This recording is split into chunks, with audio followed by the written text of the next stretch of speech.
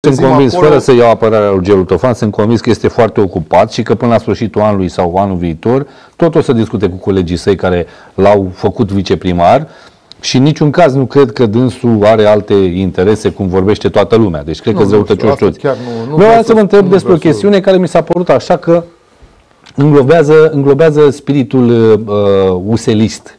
Și n-am zis uselist, am zis uselist. Consiliile de administrație, care au reprezentat o piatră foarte tare, s-au dat niște războaie și niște dedicații așa dintr-o parte și într-alta. Am urmărit cu mare amuzament, vă spun sincer, ce s-a întâmplat în perioada respectivă, dar ce să vezi, la un moment dat, așa ca printr-o minune, 12 membrii PSD într-o noapte s-au gândit ei așa, s-a pogorât Duhul Sfânt asupra lor și au dat demisia ca să facă loc la 12 oameni de la PNL și de la USR. Da, iarăși vreau să-l felicit pe domnul primar, a făcut un lucru extraordinar, inclusiv cu acest lucru.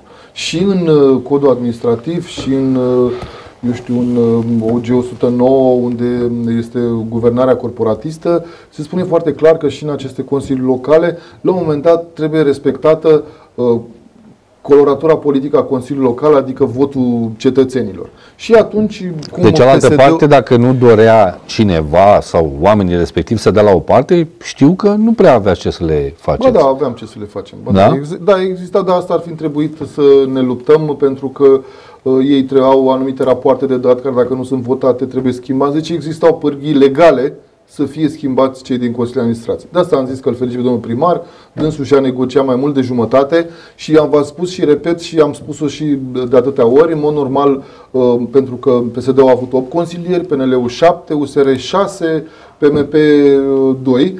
Așa ar fi trebuit împărțite și consiliile de administrație ca algoritm și poate și funcțiile de director, pentru că toți directorii sunt regimentați politic, deci nu e vorba că ar fi trebuit un, manager, un concurs de adevărat. Eu nu așa am și spus în campanie și cu acest lucru aș fi de acord. Da, inclusiv când erați în partea cealaltă nu era un deranj povestea asta că sunt înregimentați politic. Uh, da, nu, nu știu dacă nu era un, o problemă sau ceva, dar v-am spus atunci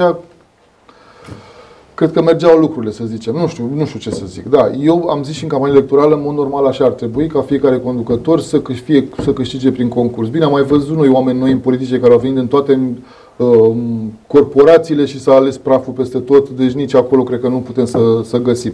Dar v-am spus, legat de acest lucru, pentru că și tu ca, ca și partid politic ai anumite, anumite gândiri, anumite idei pe care vrei să le transpui în administrație. Dar dacă un Consiliu de Administrație este majoritar PSD, poți să aduci tu acolo pe, eu știu, pe Messi al administrației. Dacă el are un vot din 5, poate să spună el orice că toți ceilalți 3 sau 4 hotărăsc.